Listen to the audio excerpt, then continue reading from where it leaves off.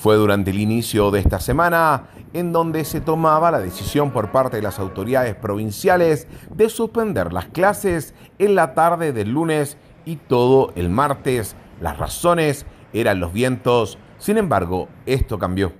Bueno, decidimos en este comité técnico mañana reanudar las clases en toda la provincia de Loa.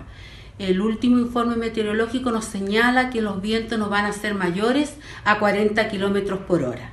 Es decir, este miércoles todos los alumnos volverán a su horario habitual de clases si es que no existiese alguna situación anómala que debiese volver a suspender. Llamar a la calma a los padres, a toda la comunidad, porque vamos a estar alerta, vamos a estar monitoreando cualquier cambio que se pueda producir en el clima y que pueda afectar a los alumnos de la provincia de Loa. Por lo tanto, vamos a canalizar toda esta información por los canales que cada uno tiene y que son los formales y que pido a la comunidad se informe de esa manera y no de otra para que no hayan informaciones falsas rondando las redes sociales sobre todo.